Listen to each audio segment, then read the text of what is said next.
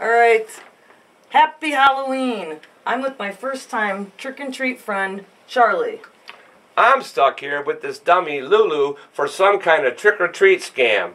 Like we're gonna go walk around dark, strange neighborhoods and trailer parks carrying a brown paper bag and going door to door saying trick or treat. What?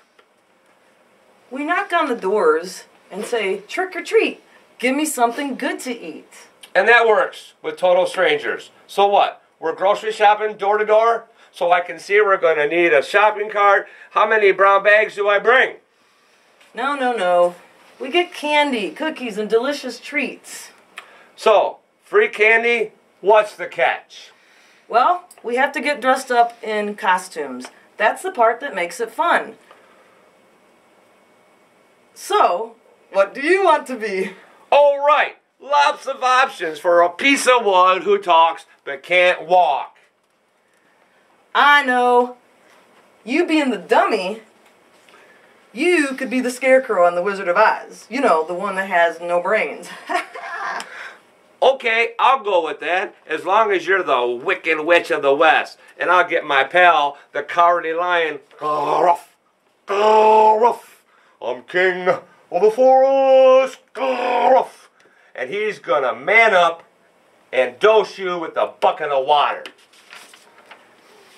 You're missing the point. This is supposed to be a fun holiday and get free candy.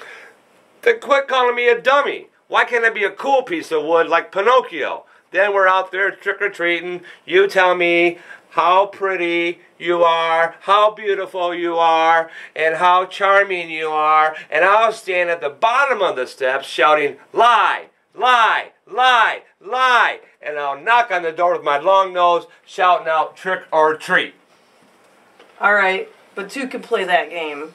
I'll be Lulu, the happy camper, and you'll be my piece of firewood. Wow! While you're putting me down, let's just go all out. You be a pirate and walk at me like I'm a plank. At least let me shout out, would I? Would I? All right, there's way too much arguing going on here. It's supposed to be Happy Halloween.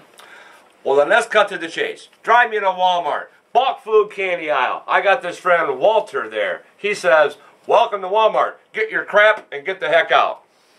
No, no, come on. It's supposed to be a happy holiday. Happy Halloween from Walter, from Charlie and myself. And this is a dedication to our grandfather, Clayton Gleckler. Happy Halloween.